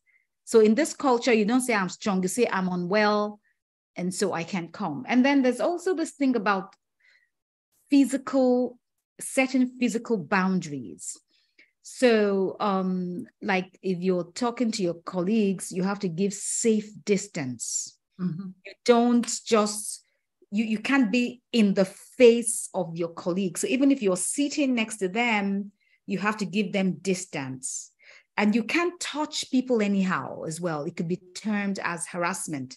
So you have to maintain physical distance. You can't text a colleague over the weekend or at the weekend or very late at night if you if you do you you just have to apologize and say i'm sorry um i just need this but ideally you know you have to understand those kinds of things mm. you know so that's very very important. So um i don't know if i'm right. Uh um Roos do you want to add yeah, to that? it's, it's really about keeping um work life and family life or home life separate. You know yeah. private life and work life are two different things. And it can happen that you meet someone at work with whom you become good friends and that's fine. But before that happens you know it will take a while. And just make sure that when you go to work you're at work and then you go home and work has nothing to do with it anymore. And now also actually there's a new law that you can refuse to answer phone calls from your boss after work times. That's one thing you need to know. They cannot force you to work longer especially now because people have since covid people have been working from home and they would be getting phone calls 24 hours a day that's why they made that law. So you can now refuse to or just not answer phone calls of your boss after work time. Okay. Fantastic. Fantastic. And yes, somebody asked the question Can you have a recording of this? Yes, it's going to be on my YouTube channel, Ibinabo Enebi. And, and whilst you're there, feel free to subscribe and leave a comment. Now, I want to ask another question quickly. What types of soft, soft skills do we need to acquire to advance ourselves? Roos? Um, soft, it depends again from company to company. You know, uh, first of all, I would say check check out the company and see what kind of soft skills they, they ask because in in um, job advertisements, there's always the hard skills, which are uh, your qualifications, and then there are the soft skills, which are um, being empathic, uh, loving, you know, liking to help people, uh, stuff like that. So, and then um, those are the things that are quite important here. But also, I would say, as a soft skill, it's being confident. Confidence is, is really important, uh, and that is all to do with your yourself, but also with the others. So they know that when they ask you a question, they'll get an honest answer. Okay, it's all about honesty, confidence, um, empathy, that depends on the job. Sometimes you don't need it. Sometimes you can just work on your own. Uh, so, but you really need to look at the job advertisements because that it's always mentioned in there. What what kind of soft skills they want, okay, and uh, underline them. You know, on, on underline the hard skills with uh, blue and the soft skills with red, for example, and then you build that into your CV when you send the CV. So that's really important. Fantastic. And uh, Ruth, um, I would say language. Um, like that example where you just gave, where this lady said, "I am strong," um, when she yeah. meant actually that she isn't well. Um, it's very important to um, try and get as close to the language. And I know coming from different countries, um, people have different accents, and some accents are thicker than others, and some accents are difficult to understand. Um, like i mean for me i i'm lucky. I work in an environment. Um Ibi we can't hear you. You're mute? You're muted. Okay. Um yeah so um it's important that um, we get our language cleaned up and brushed up um, so that we can speak um, so that we can be understood. And then also when when you're in an environment i mean imagine working with with an irish nurse. Um, medicine is already a hard enough subject to understand. And then she's got this thick irish accent you know? So it can be very difficult for you to understand mm. also the information that you're receiving. Um, and then so it's important maybe just ask the person to slow down when they're talking because the irish can talk really fast um, and just ask them to slow down. I don't understand what you're saying. And if you need to go back and ask questions, go back and ask questions um, so that you can get used to it. But don't be too stressed about language because with time you will catch on. Um, but I think it's important for us, especially for those of us. I come from an English speaking country, so that's why I sound like this. Um, Zambia was colonized by the British, so we grew up speaking English. So that is that is a lot easier for me to exist in an environment like this. But for some people who come with a really thick accent where English is maybe even their third language, it can be a little bit tricky. So try and get your language and your ability to communicate um, actually like improve on that so that it's easier for you to actually get into these environments and thrive. Can I can I uh, just yeah. come into that very, very okay. quickly because that's one of the things I teach. I, I teach uh, Somali uh, asylum seekers when they arrive here about this as well. And please do not be scared because first of all, the employers and the supervisors also need to learn to slow down when when migrants come in. So that's something that we want to teach them in workshops, and it's about intercultural dialogue and indeed some language is completely wrongly understood. Um, and that's one thing that we need to teach um, people who come in but also the supervisors and, and the managers. And then uh, it's really important to ask them to slow down to say from the start, I don't understand you. You know, I've been living here 25 years. I live in West Cork now. And if I see here two West Cork people talking to each other, I don't understand the word. You know, that's how it is.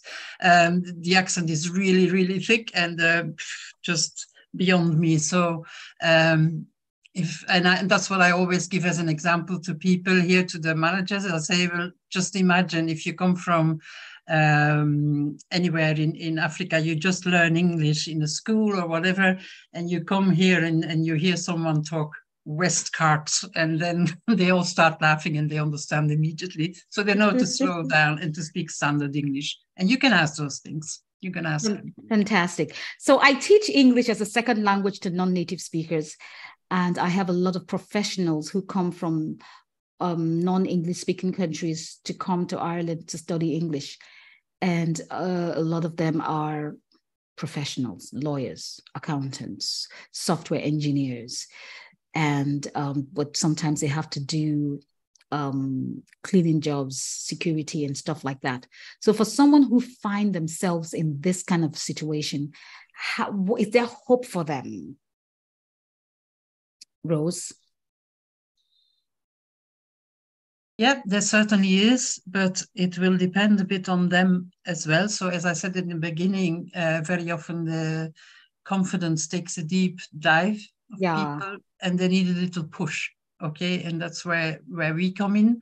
Hopefully, um, we can help some people, but it really does depend. Um, also, for example, as a lawyer, I know there's a lawyer here listening, um, and he made it really very well, but it's the courage that you need, and sometimes it's also money.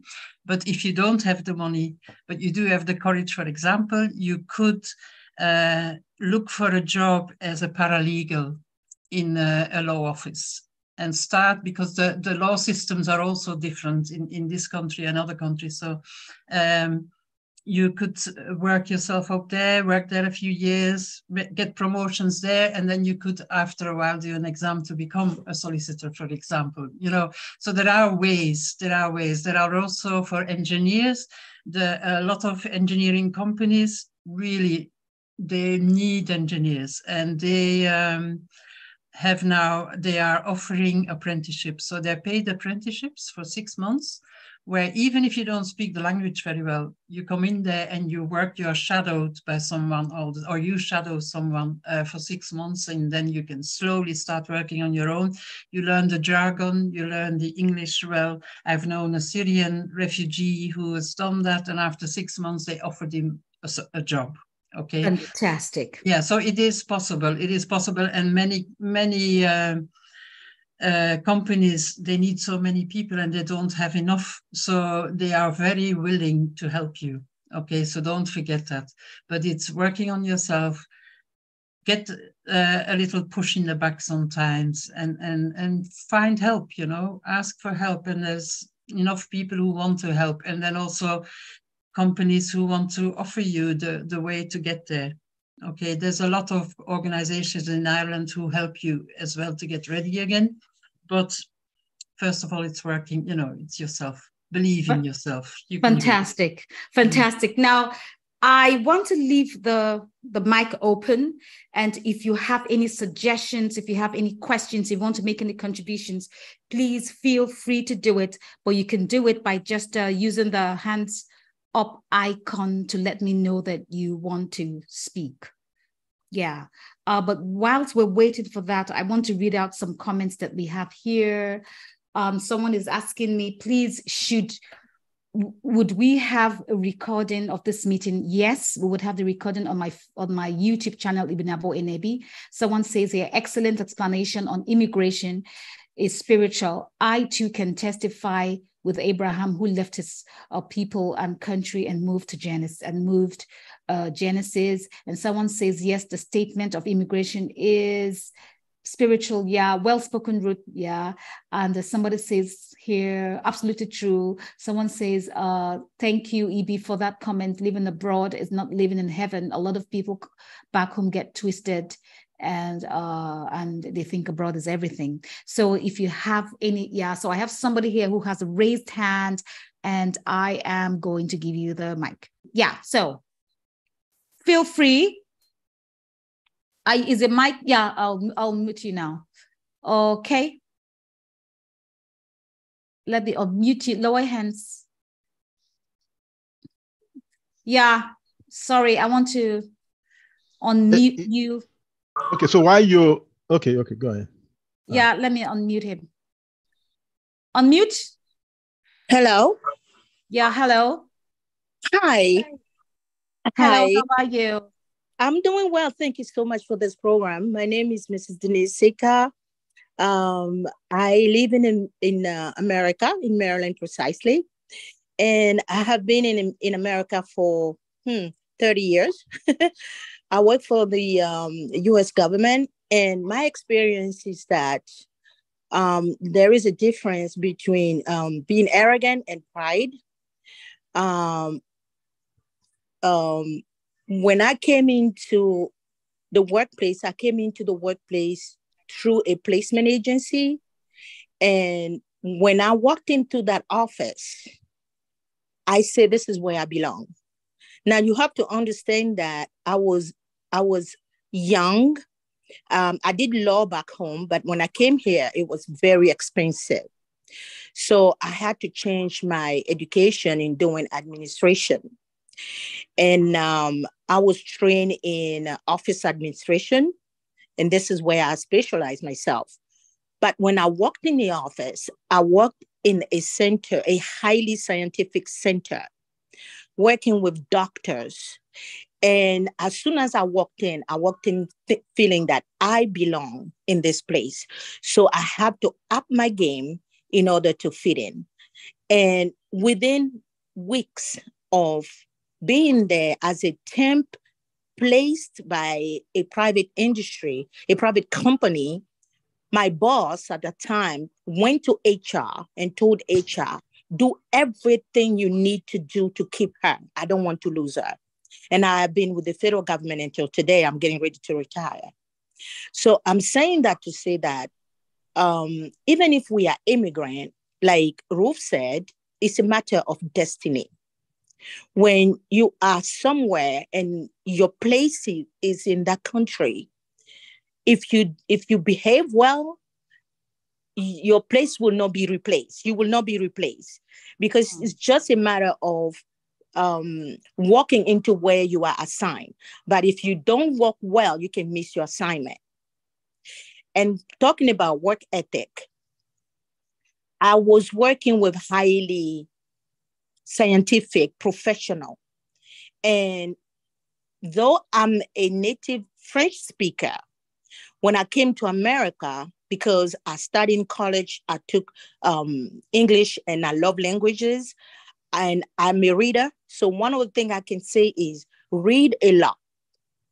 If you if you are English as a second uh, second language, read a lot. It's going to improve your vocabulary. It's going to improve your your knowledge of the language per se, and then listen a lot because the diction is perfected by the hearing. So you have to listen a lot for for you to pick up how to pronounce. Hmm. So you can be able to better communicate because when you communicate in a professional environment, you have to use the proper way of saying things to be understood. So um, just for my brothers there out there or my children, is to let let you know that do not be intimidated. It's not arrogance, but it's confidence, rather, not pride, but confidence. Be confident that you are intelligent, that wheresoever you are put, you can thrive. So all you have to do is learn the environment and adapt yourself and bring up your game, bring up your knowledge, and make sure that you professionally sharpen yourself to be able to sustain where you are put. Hmm. Thank you very much. I I didn't get your name now. Denise Seka? Can you type it for me, please? Okay, we'll do. Because you said something that I, I want to put on a quote. Yeah. Ruth cited. oh, oh, perfect. Thank you so much, Ruth. And Dr. Aya, you wanted to say something. Yeah, I I want to say that um, there's nothing, there's no uh, uh, certain approach fit all. Uh, don't uh, don't get too nervous. uh, don't also expect that everything will be so rosy. Uh, it's a journey, but it, it, has to be a journey with a purpose and uh, determination and the aspect of willingness to adapt and uh, uh, be real with yourself. and again, like I would say to an average person, I said, look, it is not a journey, you know, in, in, Nigeria and in particular for Yoruba tribe. Uh, those that Yoruba may be able to understand it. They will say, uh, Ako Ereokodele. That means that uh, you will bring the goodies from your journey back home. All right. So, and I tell I tell to people, look, uh, once you if you migrate, yes, it's a journey, but it's not a journey to say, look, you want to live uh, a kind of a, a temporary life or a, a, a, part of your life. And then when you return back to your home country, you live your full life. I said, no, no. This is where you found yourself. This is where you have positioned yourself right now. Live your full life.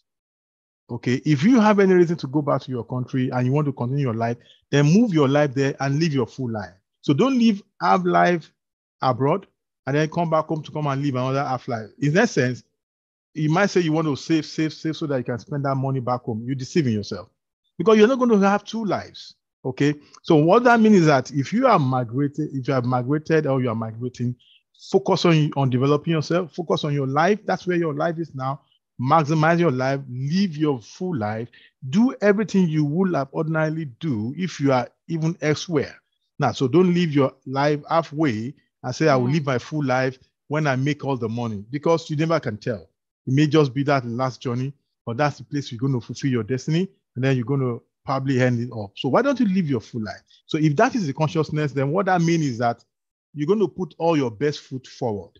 You're not going to say to yourself, look, I'm going to, going to live a kind of a, a menial life, a half-week life, uh, a, a temporary life, and then when I get back, no. If you get a job, put in your very best. Now, let it be that you are doing all that you need to do to position yourself. And then remember again, lastly, uh, much as it's about your personal life, it also have a, a, a place of representing your country or your tribe. Okay, because if you excel, if you succeed, they will not celebrate you alone. They will say a Nigerian Canadian. But if you also go otherwise, if you if you create problem in the system like root cell, if you if you negate all those spiritual intelligence she has doled out, and then you create problem, they will also say, in fact, they may not say Canadian, you're just a Nigerian man. All right, because it have always have a link back to your where your base, where you're coming from.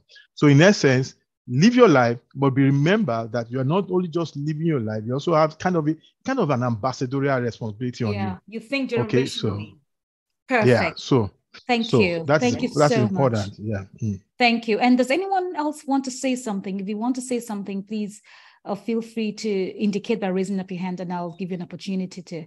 And while we're waiting for that, someone says, I've been in Ireland for 11 years. And what I learned the most is even if you get reassured by finding people from your country, you will get more on the language and the work habits by mixing with people from the country where you where you are your level of English and confidence will improve once you get out of your comfort zone. So that's very true, isn't it?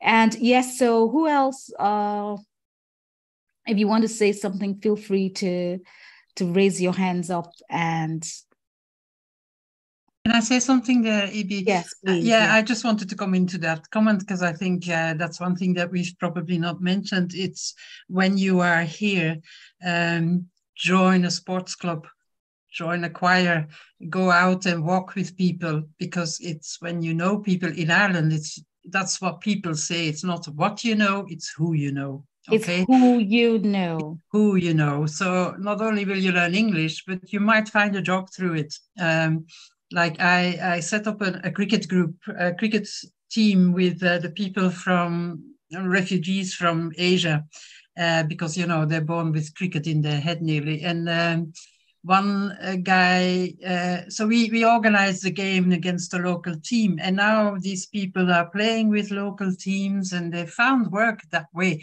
There was a man who came oh. to watch the cricket game because we talked about it on radio, and he came to watch. It was an old man, And he came to me and said, I've always played cricket. I said, Well, I'll introduce you to the team. And I introduced people with the jobs they used to do before they became refugees. Oh. And one of them was an engineer. And he said, Oh my God, uh, engineers. You have engineers? I said, Of course, yeah. They're all here. And um, he hired that guy. He had uh, he ended up being a man, a factory owner, a very rich man who owned a factory, who needed engineers, and he hired this cricket player. Oh so you never know what happens. You know, talk to people around you, go and join things that you enjoy doing, uh, sing in a choir, whatever. People will love you for it, and uh, and if they hear of anything, they will want to help. That's the way they are here. So there's a lot of people that come from home. Like i want to i want to focus this attention on dr ayo. A lot of nigerian men have come to ireland or have come to the uk or canada or, or the states uh, to join their wives. They don't have jobs. Some of them are top banking executives. Some of them had gotten to the highest level of their careers and now they have come to ireland or the uk or canada to join their wives and some of them don't have jobs how do we address that situation? Okay, so uh, of course it's a challenge, but the, the truth is that um, to start with, uh, the document, what document does the wife have? Does he give the spouse opportunity to work? And if, if that's the case, then uh, uh, you see, uh, the last speaker spoke about uh, the uh, the ego, the you know, the the feeling like, look, I'm a big man where I was coming from. And so you are here with your wife, you have a new life, and you are in a new location or terrain. You need to seize the moment because you need to support, even if your wife is working or schooling, you need to support her. So then you need to look at the skills. You see, and I will use myself as an example. I I have diverse skill. All right. So when I landed, I was hoping I could get my HR going, like I said, and I saw that I have a lot of things to do. So I look at the other things I could do. So until I, I got to the, about the fourth of my area of uh, you know uh, skillfulness, and I felt like, okay, so I, I've done a lot of facilitation, lecturing job, and all of that. So I just remember that I could I could play that out, and that got me a lot of uh, you know interview. So you need to look at all of the area of your skill set, and if you do not really see anyone that's relevant, then why don't you look for one? You must find something doing. In fact, there are remote jobs that you do from home, right? That may you may also get headway. So there are a lot of things. The, the, the challenge is to feel like uh, even if we have the money, for instance, you know, like I said to you, about to sustain myself with a lot of my my savings or back home, but you realize that the exchange rate is not going to even be favored. So that's another challenge. It's almost like wasting money. But of course, you can use that to, to stabilize it for, for a while. But going forward, you must find something to doing. So you, you need to you need to challenge yourself. And if there's the challenge of documentation, then you need to also understand what then can you do. How do you go about it? How do you navigate it the way to get your documentation so that you can get a job?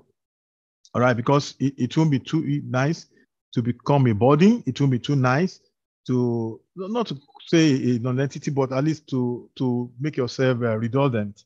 All right, it's not going to help you. Neither is going to help your family. So there's always that aspect of what can you do, and if you also look at it very well, because uh, you could also come up with ideas. So I mean, certainly look at the problems around and solve problems, and then come up with idea and then do a business. If you feel you cannot work, there will always be one of the things you can do. I mean, when I came around, I said that okay, there are there a business possibility. But I said to myself, I'm not going to go into business now.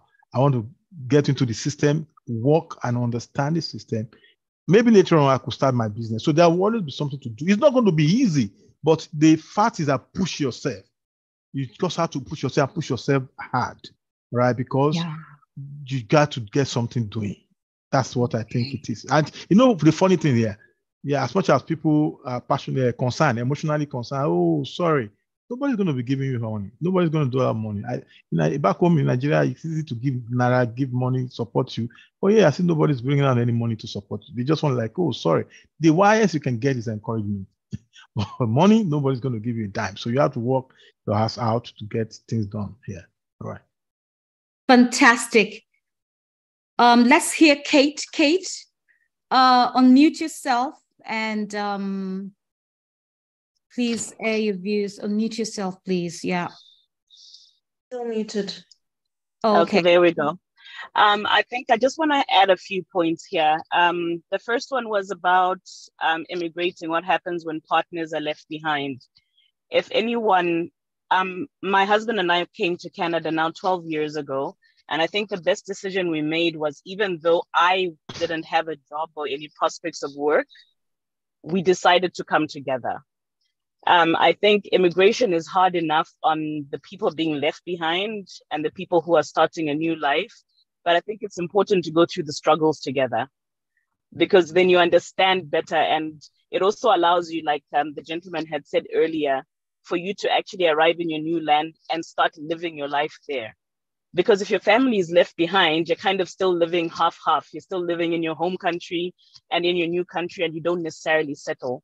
Yeah. But I think it makes it makes the process it makes it understanding because if i'm back home i would have all of these demands because like we've said everybody thinks the moment you leave home everything is in the other people are in the land of milk and honey and you have Mhm. all of these ridiculous expectations without understanding the true struggles of what the person is going through um, in their new land so if if you can absolutely help it i would encourage people to come as a family even if you're going to be sleeping on the floor and having one meal a day, then you're struggling together, then you're in it together.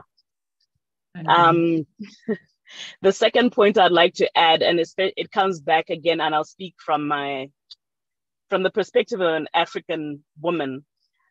If a woman migrates and she's the one with the job, our African men need to change their mindset of being providers only financially there's a lot of stuff. You can help. You can be a helpful partner in a relationship even if you're not providing financially.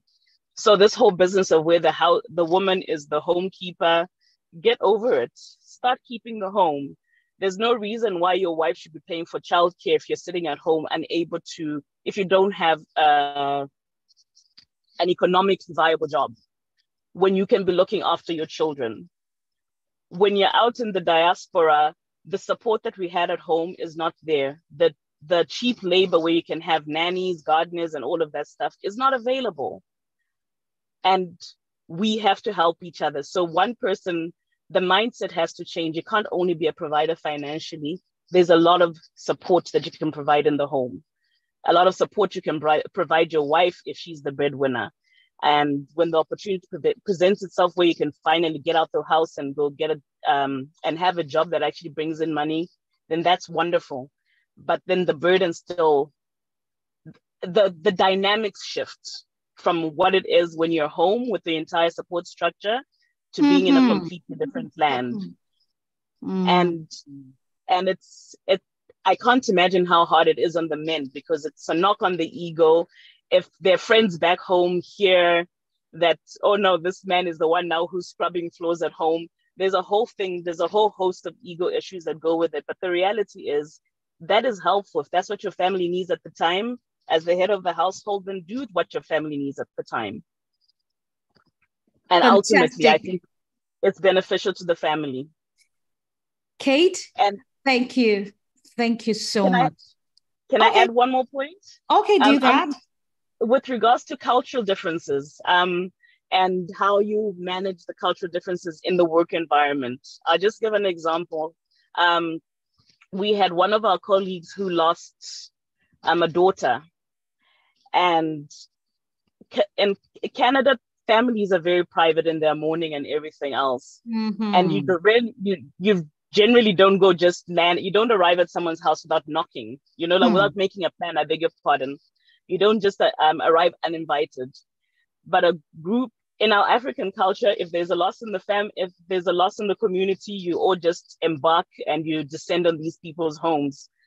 And i know a group of ladies and i and we had a bunch of uh, a group of filipino ladies that i work with.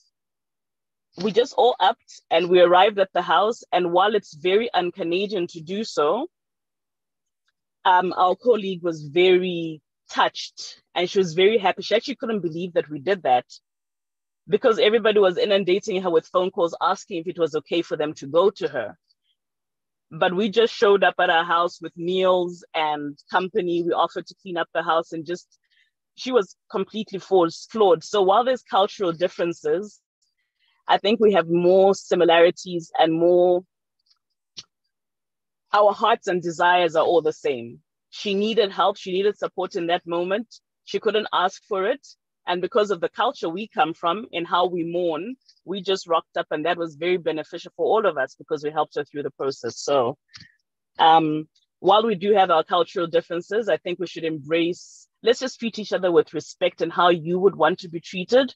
And more often the reception is of gratitude and appreciation than not. Fantastic, Kate. Kate, please, can you inbox me your email? Because I'm doing an episode on family soon, and I'd like you to please be a part of this conversation if you don't mind. So, sorry, sorry, Ibi. Um, I'm Kate's PR agent because Kate is my baby sister.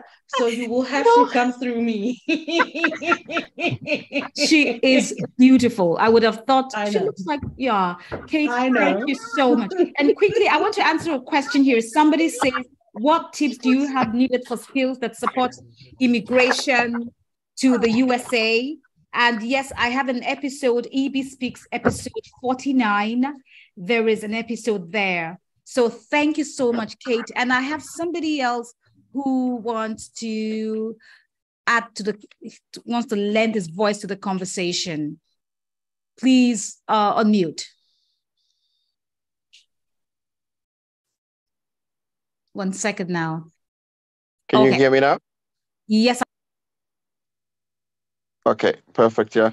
No, I think most of the points that I wanted to come up with have already been addressed, right?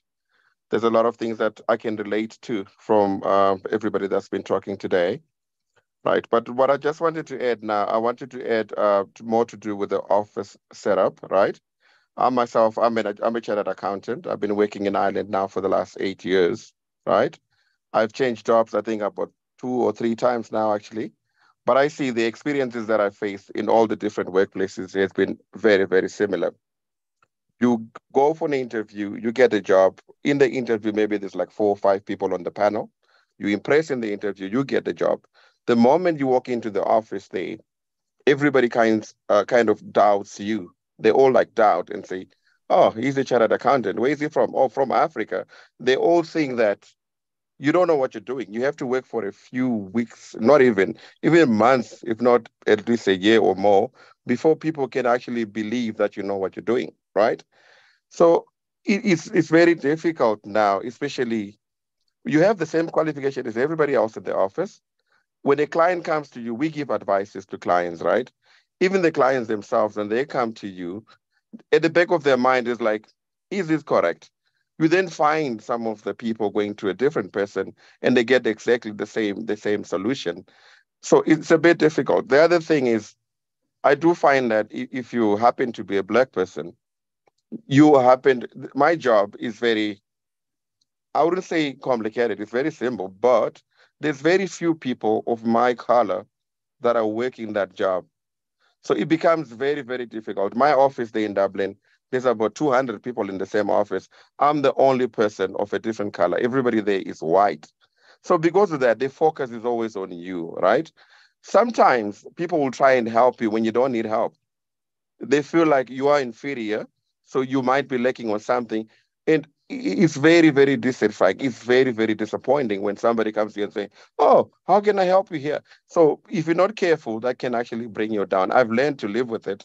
But I, I can say this is one thing that I just wanted to add there as well that you always doubt it until they know you very well. They always doubt you. So I think that's the only point I wanted to add. The rest of them have been covered by Ruth and Dr. Ayo. Maybe you're on mute, my love. Thank you so much. I really appreciate it. Now I'm 15 minutes above time and I don't want to overshoot. But someone says here, for those who don't migrate with their partners, how can they cope with loneliness being the one of the causes of depression? I am doing a series on part uh, migrating partners. I'm doing a series on mental health. So just stay tuned and follow me on my social media handles, and you would see when those episodes come up. And for everyone who's joined us today, I really do appreciate you now. And just quickly, um, Roos, Ruth, mm-hmm. and Ayo. If there's anyone who wants to contact you for further information or help, how can they reach you? Would you be open to talking to people? Um, I could talk to people. Um, they can send me an email to roos at recruitrefugees.ie. I'll put it in the chat as well.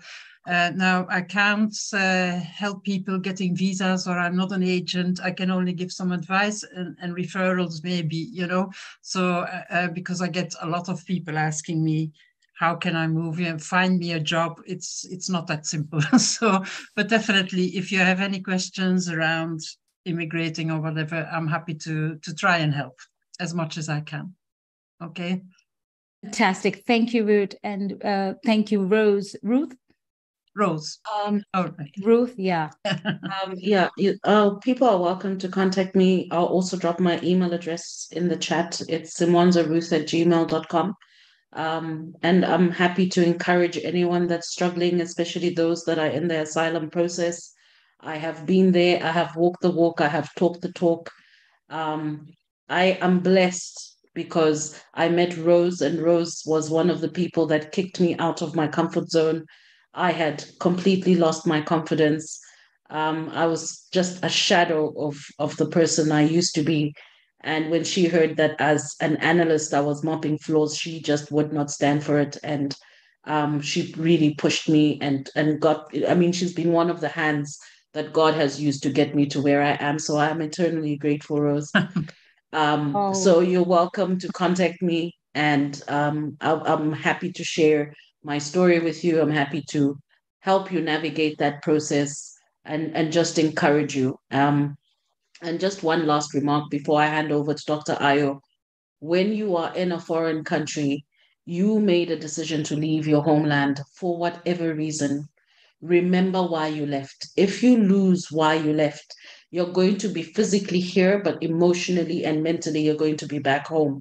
You cannot move forward that way you're going to struggle to move forward that way. And that's why, like Kate had said, it's important if you've got a family and you can all move at once, move at once because you want your heart in the same place where you hmm. are because your heart is what is going to guide what you do in the country that you're in when you are in that country say for instance you left and it wasn't it wasn't by choice you had to run make peace with where you are forget where you come from and start anew, start afresh. A new beginning is always a blessing. It's always a new way of doing things. You would have made, I had made terrible mistakes in my life in South Africa.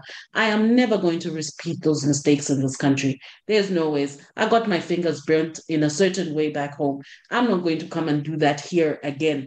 I learned those lessons. I have been afforded an opportunity to start again and to do things better not as somebody who's naive, but now I have a little bit of experience. So use that to your advantage.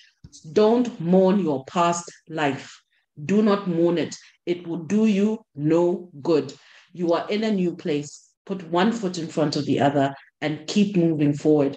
This is an environment where if you are open to receive, you will receive, but you gotta be open. You can't live in the past. Your past will never let you go, but you have to say goodbye and move forward. Oh Thank oh my you. gosh. Thank you so much. And Dr. Ayo, in case somebody has heard your story and is looking to come to Canada, how and would you, and wants to get in contact with you, uh, how okay. You, yeah. All right. Thank thank you. I, uh, uh, put my email and phone number, WhatsApp number actually in the box, chat box. You can pick it from there. Uh, but again, uh, I would prefer you chat me or send me mail. I can share from my experience, and uh, if I feel I have some more complex situation, then I have people also I can you know refer you to. But I'm not running an agency. yeah, I, I know. I'm just right? purely just purely a, a, a passionate person that's also willing to you know, support the, the next person. So the, I'm not going to ask you to bring any fee, but uh, I think we can share some information. But again, like uh, every other person, my encouragement, my encouragement is that uh, be sure of what you want to do, and then be be, be sure that uh, it may not look easy, uh, and there's nobody really that I've heard their story that I've related with that told me is so easy. But at the end of the day, everybody has the testimony of a successful story or uh, of a progressive story. Uh, with doggedness, with commitment, you can get ahead. So I wish you all the best. Thank you. Can I say a last word? Okay. Sorry. Uh, yeah, I forgot to say goodbye to everyone. So uh, this has been very interesting. I also uh, wanted to say to people who are here and uh, who know of other people who need help, uh, we are here to help refugees and people seeking asylum because uh, they need more help than anyone else nearly um, in gaining confidence in um, upskilling, learning languages, and all that. So my email is there, and uh, you're all very welcome. And as uh, Dr. Ayo said, please, please, um, and as I said before, research if you're going to come into Ireland or into any other country. Research, learn, uh, and research companies as well, where you're and adapt your CVs. Very important. and um, I think it, it is possible. It is possible to reach the heights, but you have to work extremely hard and you have to be willing to ask people for help. That is always necessary. So, uh, but you can do it. Thank you. Perfect. So thank you very much. And someone's quoting what uh, Ruth said. It says, um, says here, saying goodbye to your past is what some of us are struggling with. I needed to hear this. Thank you, Ruth. I'm a trustee of, someone says here, I'm a trustee of Caste Community and Sanctuary Seeker together in the in, in the UK. We provide accommodation, immigration service, help people to integrate into the community. We do community projects to alleviate loneliness. And Jennifer, you want you want to please just Send me a DM on any of my social media handles, Ibinabo Enebi at Instagram, Ibinabo Enebi Facebook, and on my LinkedIn. And we've got to talk. Yeah. So, guys, if you haven't subscribed to my YouTube channel, please subscribe. It's Ibinabo Enebi. And I'd like you to please follow me on my social media handles, Ibinabo Enebi on Instagram, Facebook, and LinkedIn, and on TikTok, as well as Twitter. And um, this has been a very exciting conversation. I learned a lot. And um, thank you all very much. And guys, uh, Faith, Roos, and Dr. Ayo, I'm going to call you and bye, everybody. Mwah, mwah, mwah, mwah, mwah. Bye. Bye. Thank you, everyone. Thank yeah. you. Bye-bye. Bye. Bye bye. Bye bye. Yes. And thank you to all the contributors as well. Thank you. Bye. Bye.